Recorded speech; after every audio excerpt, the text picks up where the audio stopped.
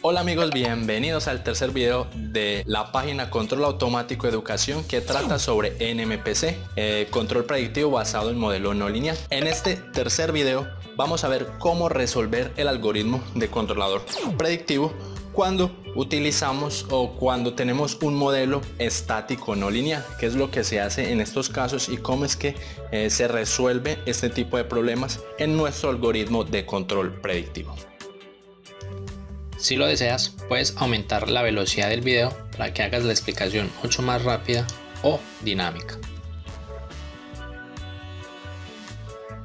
Una tercera forma de resolver el control predictivo no lineal NMPC es utilizando un modelo con no linealidades estáticas. Simplemente se describe el sistema con un modelo dinámico lineal junto con un modelo estático no lineal y luego pues se resuelve el MPC para modelos lineales, o sea un MPC lineal que ya lo sabemos trabajar, pero con, una ganancia fija y se ajusta el controlador de acuerdo con una curva de ganancia estática que no es lineal. Entonces vamos a entender cómo funciona esta filosofía de controlador. Un ejemplo típico que podemos pensar en modelos que tienen curvas estáticas no lineales es una válvula de control.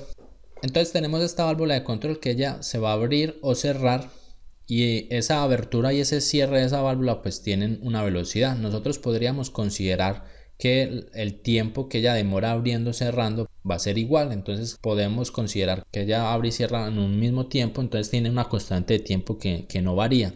Pero la diferencia es que a medida que ella va abriendo pues va a tener un comportamiento estático diferente y que todo va a depender del obturador que tiene la válvula de control. Entonces, por ejemplo, si nosotros empezamos con, un flujo aquí y le metemos un escalón del 30, pues vemos que ella tiene una constante de tiempo y aquí va a tener una ganancia. Vemos que más o menos llega como a 50. Aquí le metemos otro escalón del 30. Vemos que la, la constante de tiempo es muy parecida, pero ya tiene, la ganancia pues ha cambiado. Vemos entonces que ella va a tener otra ganancia. Aquí tiene una ganancia mucho menor y eso muestra la no linealidad estática. ¿Y eso sucede por qué? Pues las válvulas eh, están construidas de diferentes formas. Generalmente, por ejemplo, el obturador de una válvula pues tiene diferentes formas. Por ejemplo, si tiene esta forma pues va a tener un comportamiento estático del tipo raíz cuadrada. Si tiene esta forma pues será lineal. Si tiene esta forma será igual porcentaje, será, esta es hiperbólica y esta es de abertura, abertura rápida. Entonces vemos que aquí comportamiento estático de la válvula, aquí sería entonces el caudal eh, versus la abertura.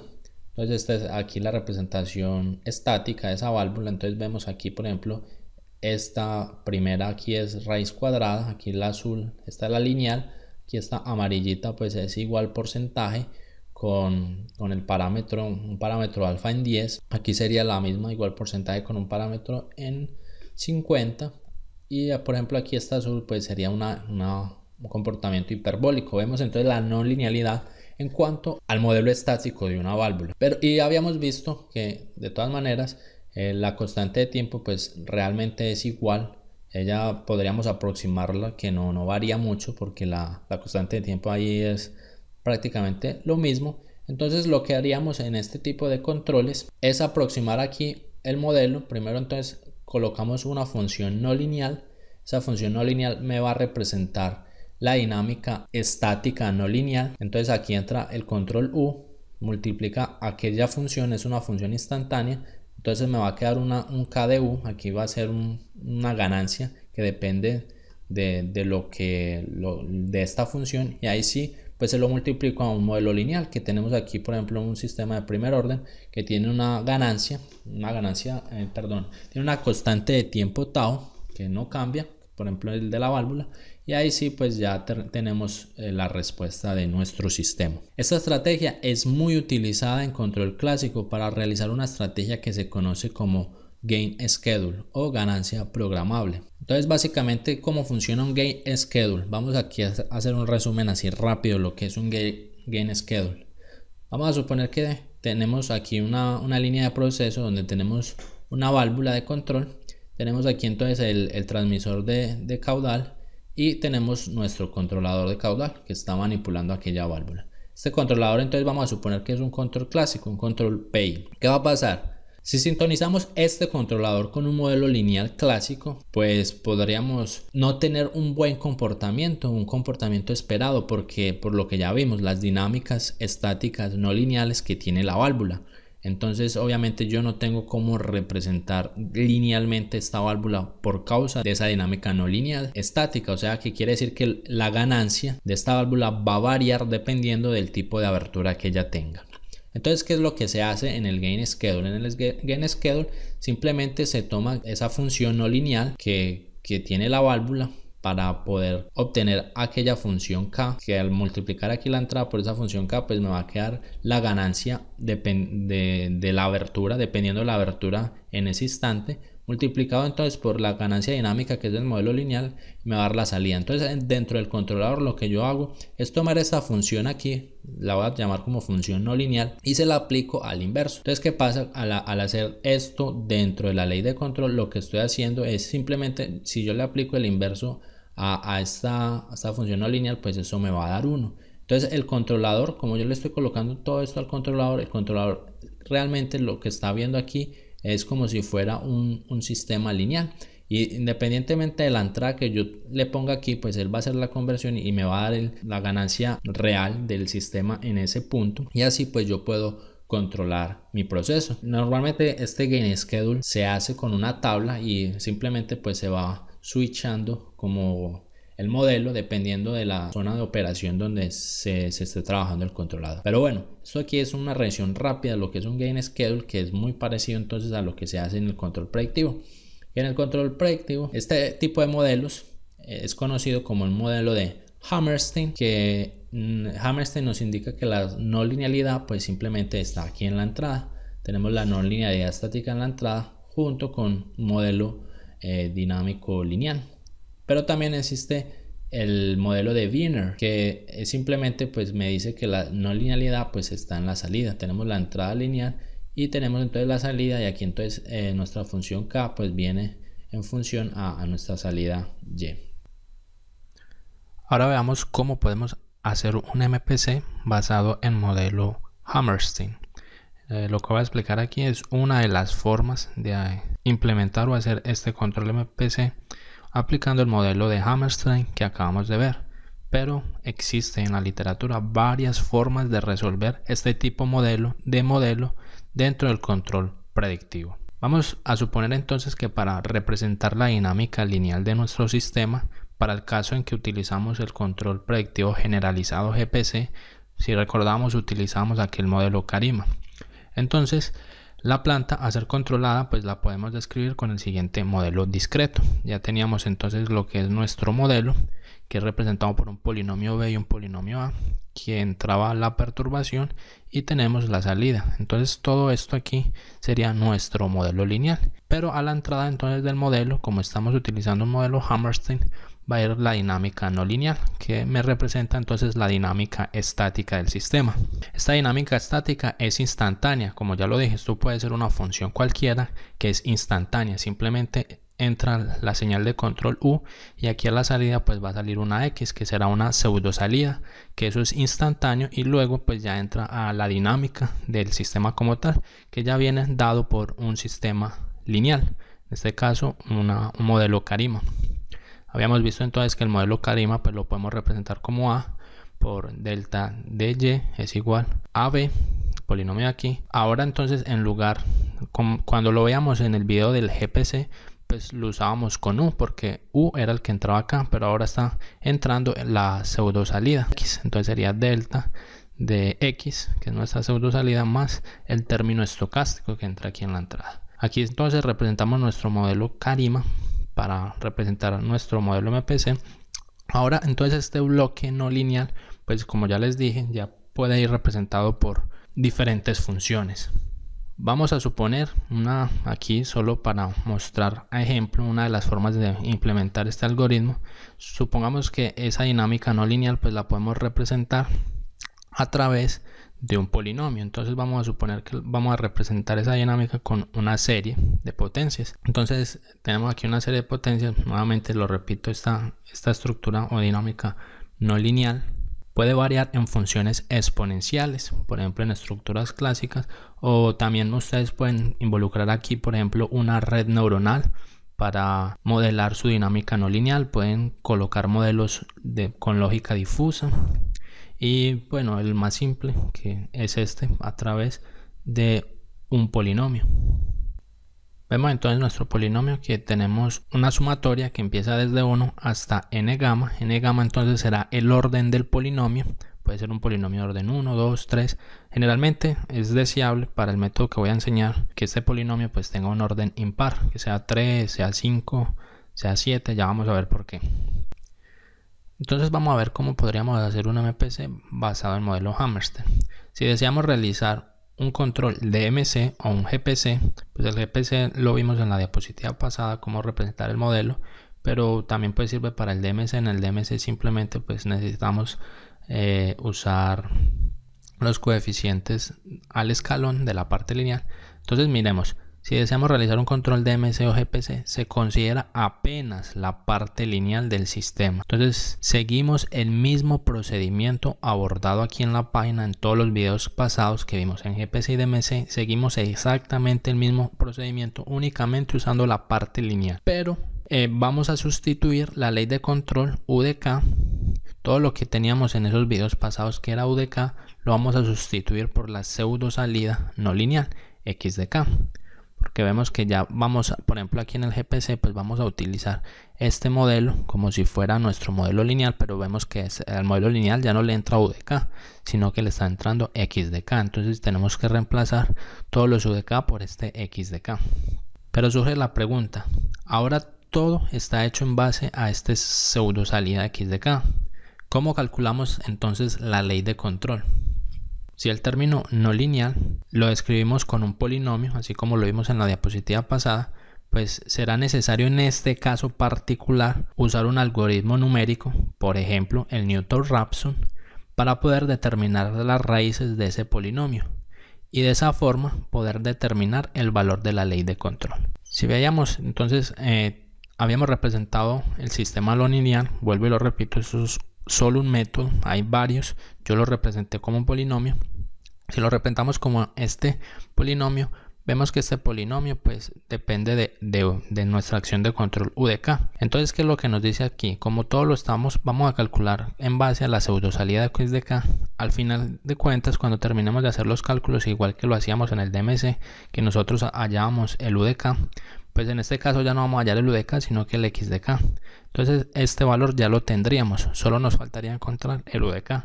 Si vemos, esto es un polinomio.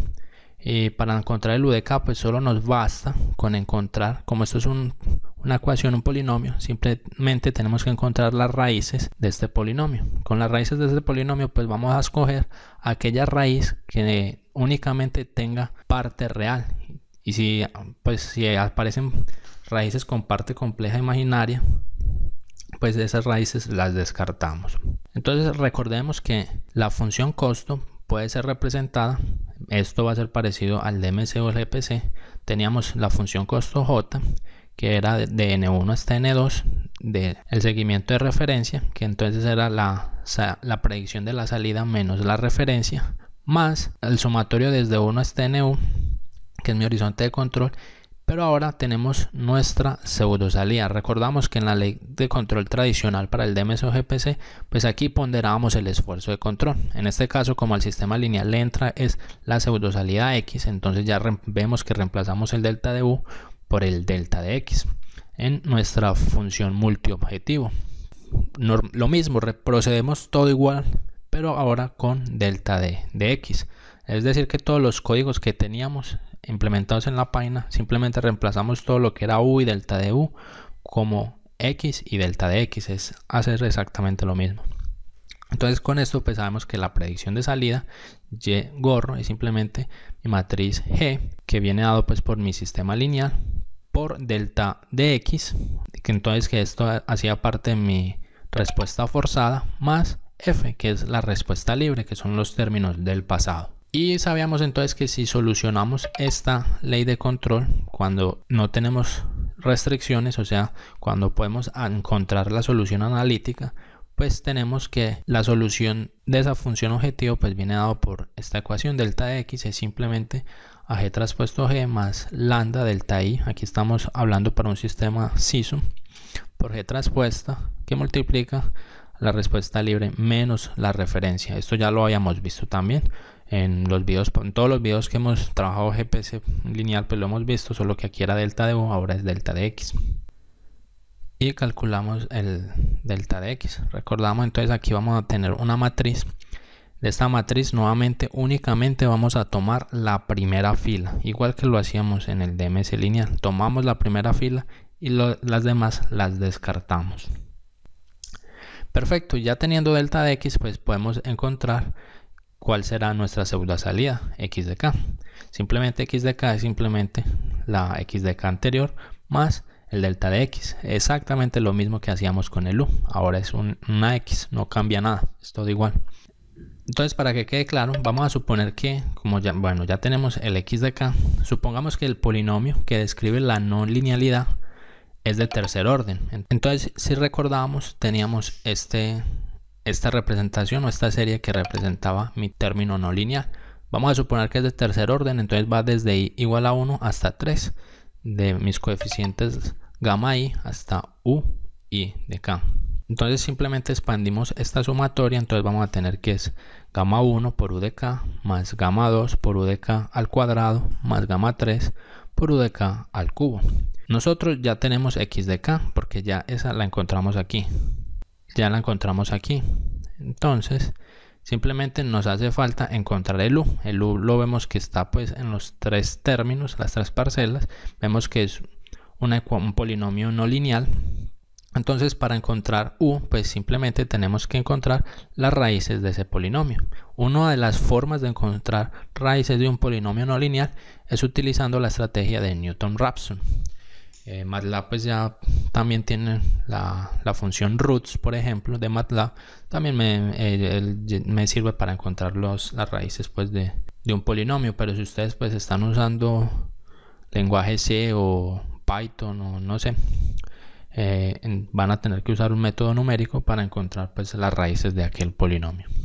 Una vez pues tenemos las raíces, como es un polinomio de grado 3, pues vamos a tener tres raíces, ¿cierto? Y de esas tres raíces, pues vamos a tener una raíz que por eso la hacemos impar, porque una de las raíces por lo menos va a ser real. Vemos aquí que, por ejemplo, la raíz eta, pues es una raíz real, y me dio otras dos raíces, una alfa más j beta y alfa menos j beta, que estas son dos raíces complejas conjugadas. Entonces simplemente como ya tenemos las tres raíces de ODK, vamos a descartar todas las que son complejas conjugadas y únicamente nos quedamos con la raíz real. Entonces esta raíz real pues sería nuestra acción de control que vamos a aplicar sobre nuestra planta.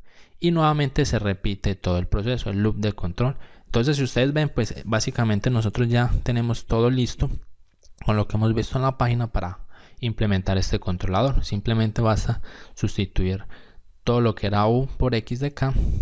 Al final pues encontramos que es x de k y solo nos faltaría adicionar esto, encontrar la, las raíces de este polinomio y tomar la raíz real que será nuestra ley de control. Aquí entonces lo, lo diferente pues sería cómo estimar el modelo no lineal de Hammerstein porque vamos a tener una dinámica no lineal que me representa mi ganancia estática que es instantánea y tenemos pues nuestra parcela lineal que es la parcela dinámica. Con esto amigos le damos fin entonces a este tercer video de control predictivo no lineal. Espero les haya gustado el video hayan entendido. Si les gustó por favor compartan el contenido de este video para que más gente conozca sobre esta estrategia de control. En los últimos videos pues de NMPC iré mostrando códigos de implementación podría mostrar incluso un ejemplo básico práctico básico de cómo implementar por ejemplo este MPC usando modelos de Hammerstein. Y pues tengo pensado también mostrar otros tipos de, de algoritmos para solucionar para controlar sistemas utilizando NMPC espero que les haya gustado que estén muy bien y nos vemos en el próximo video Puedes seguirme en mis redes sociales, suscríbete a mi canal dando clic en mi foto y activando la campana de notificaciones y no te olvides de ver el siguiente video.